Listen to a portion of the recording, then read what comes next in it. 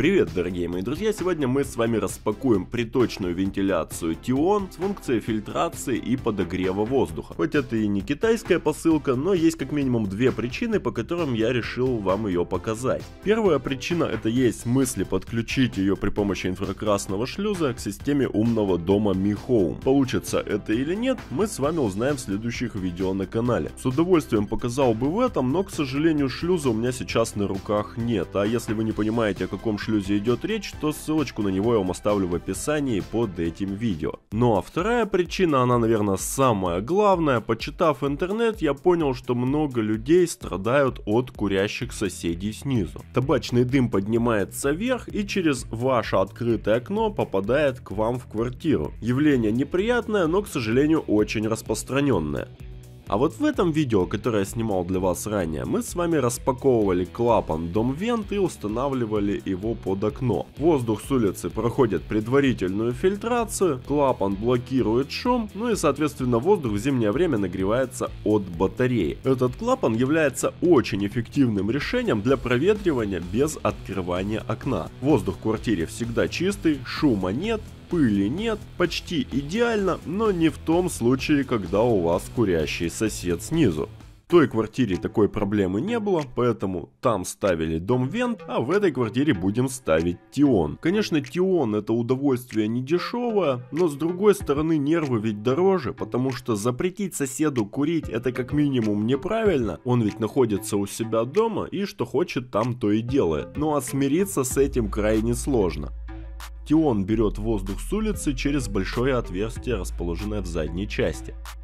Давайте снимем крышку и посмотрим, что же происходит с воздухом дальше. Здесь внутри расположены фильтры, причем в базовой комплектации будет только один вот этот вот F7 фильтр. Он способен очистить воздух от загрязнений более 5 микрон. И если вы страдаете аллергией, то по идее этого фильтра будет достаточно. С одним таким фильтром Тион стоит 21 900 рублей. Далее воздух из хорошо изолированной камеры поступает в нагреватель. Эта камера адаптирована электронной заслонкой, и если прибор выключен, заслонка герметично закрывается. И в нагреватель, мощность которого 1400 Вт, воздух попадает уже отфильтрованным фильтр, идущий после нагревателя, в базовую комплектацию не входит. То есть там есть разные варианты фильтров, и вот этот фильтр, он самый дорогой, потому что способен очищать воздух от запахов до 99%. Вместе с этим фильтром Тион обошелся мне чуть больше 25 тысяч рублей. Но это не реклама, я вам даже ссылки оставлять не буду, я лишь показываю вариант, который выбрал для себя сам. Под фильтрами в самом низу находятся четырехрежимные режимный электромотор с вентилятором в виде беличьего колеса. То есть получается за чуть более чем 25 тысяч рублей мы получаем вот этот пластмассовый ящик с фильтрами и еще 4 тысячи рублей придется отсчитать за его установку. Здесь на видео вы видите, как я изучаю вот этот стык. Внутреннее кольцо полностью выполнено из мягкого материала и наружнее уже отдельно приклеено на пластмассовый корпус для лучшей герметизации.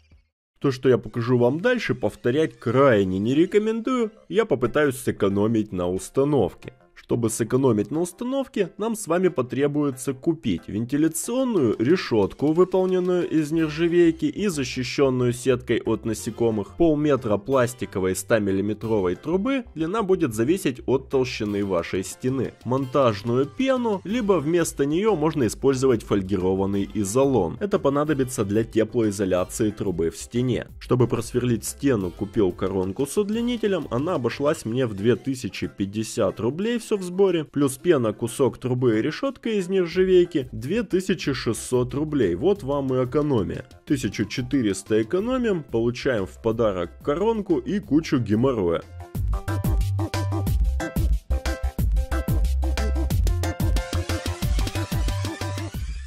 100-миллиметровая труба очень плотно помещается в уплотнитель прибора. Отверстие сверлим 120, а излишнее расстояние утепляем пеной. Сверлить будем стену из мягкого пенобетона, утепленную 100-миллиметровым пенопластом, то есть толщина стены 400 мм. В обязательном порядке отверстие нужно сверлить как бы сверху вниз, то есть оно должно находиться под углом, чтобы в случае дождя вода по трубе не затекла к вам в квартиру. Устанавливать приточку можно на любой стадии ремонта и в данном случае будем считать, что ремонта нет, потому что эти ужасные обои в скором времени планирую переклеить. Она очень легко снимается и ставится назад. При сверлении каких-то маленьких отверстий пылесос действительно помогает избавиться от пыли. Здесь он помог разве что снизить ее количество.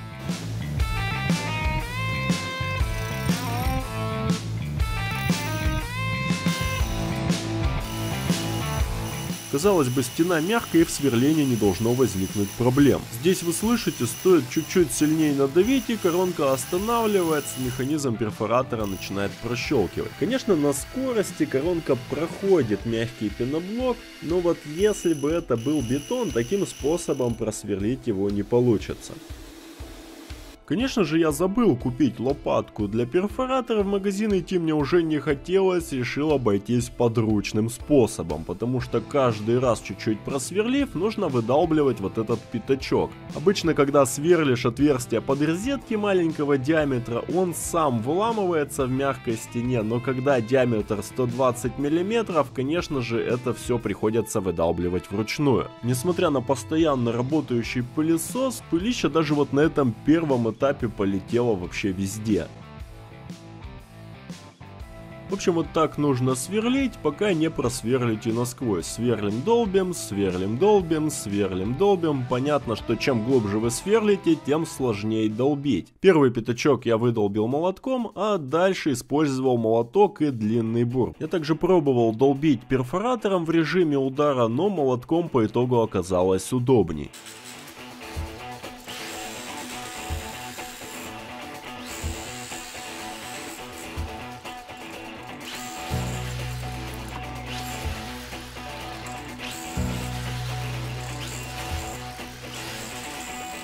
Спустя полчасика в стене образовалось уже внушительной глубины отверстие. По стыку пеноблоков здесь можно видеть, что оно просверлено под углом.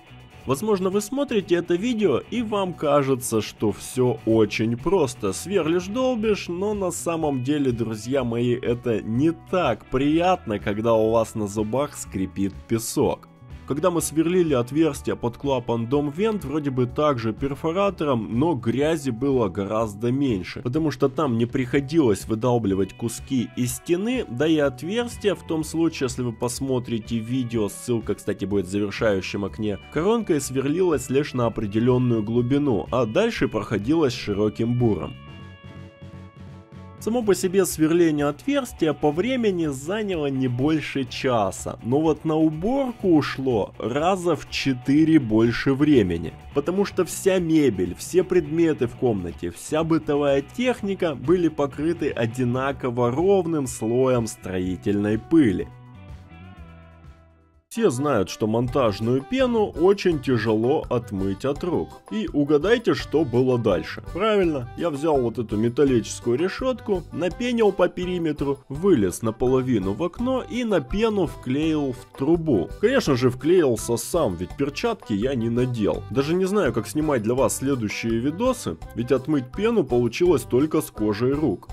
В большей степени пострадала левая рука, именно ей я и вклеивал решетку. Вроде вляпался-то немножко, но пытаясь оттереть, еще больше размазывал пену и втирал ее в остальные пальцы. Поэтому при работе с пеной будьте осторожнее и используйте защитные средства. Можно считать это платой за недооценку чужого труда. Сюда же можно отнести бесплатную стоянку во дворе, скачивание фильмов с торрентов. Все любители халявы рано или поздно страдают. Они могут сами не понимать последствий, но последствия есть всегда. Я не дал заработать монтажнику, а потом точно так же кто-то решит сэкономить и не даст заработать мне. Поэтому, друзья мои, цените и уважайте чужой труд. Считаю, что в России это проблема проблема номер один. Одни люди забирают хлеб у других, тянут на себя и получают. В итоге всем плохо.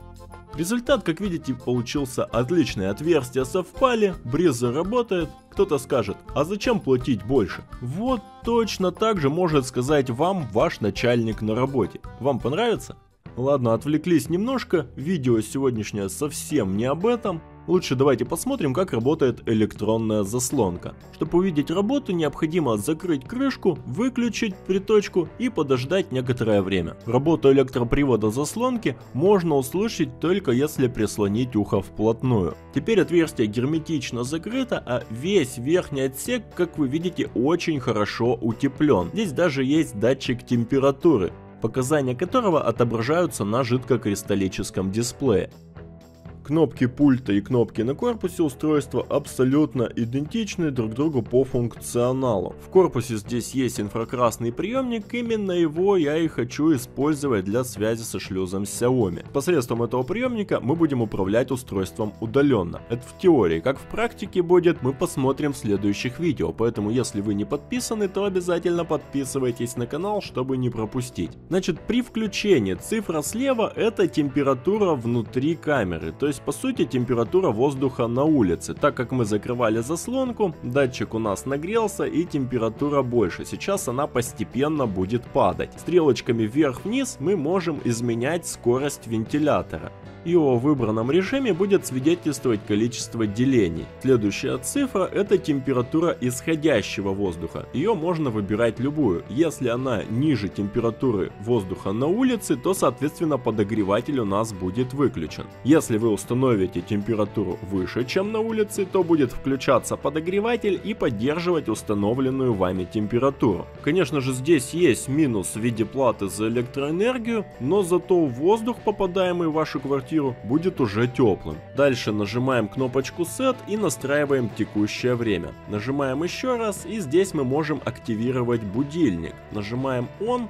дальше кнопочку Set, устанавливаем время запуска, то есть вверху у нас написано старт, в это время приточка включится, и время стоп это то время, когда приточка выключится. Следующее значение, которое мы можем установить, это температура закрытия заслонки. То есть если на улице будет холоднее минус 25 градусов, заслонка закроется и телевизор выключится. Следующий это ресурс фильтра в днях. Здесь устройство будет напоминать нам о необходимости замены фильтра. Ну и все, в общем-то, дальше все функции повторяются по кругу. Чтобы ощутить все прелести приточки, много времени не потребовалось. Сразу же после установки, даже в то время, когда я убирал строительный мусор, в комнате уже было понятно, что воздух свежий. И про курящего соседа можно сразу же забыть. Самый слабый режим работает очень тихо и приточку вполне можно эксплуатировать ночью. Сну она не мешает. Я спал сегодня и мне кажется во сне улыбался, потому что, друзья мои, свежий воздух,